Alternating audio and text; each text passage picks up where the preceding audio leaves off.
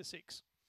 Ready now, good race. Race eight for box one photography. Ready, set, away they go. Good even break as well. It's a trick is going to lead up early, but now Far More Watches goes around. The favourite is going to be in front of the bell lap. Ding ding, Far More Watches. Three lengths in front of It's a Trick. Blame Brendan is up to the outside. To fourth, then Bohemian Chariot. The rest are a long way back. Crafty Kazza won't be winning. Second last is Rob Millie starts to make ground, but I think it's forlorn. Smart Lily at the tail. This one's off and gone. Let's put the binoculars away. Far more watches is five in front of Blame Brendan. Bohemian Chariot and running on as it's a trick late, but it's going to be far more watches goes on and scores by three and a quarter on the line. Blame Brendan second, Bohemian Chariot third. It's a trick into fourth from Crafty Kazza, Rob Millie, and back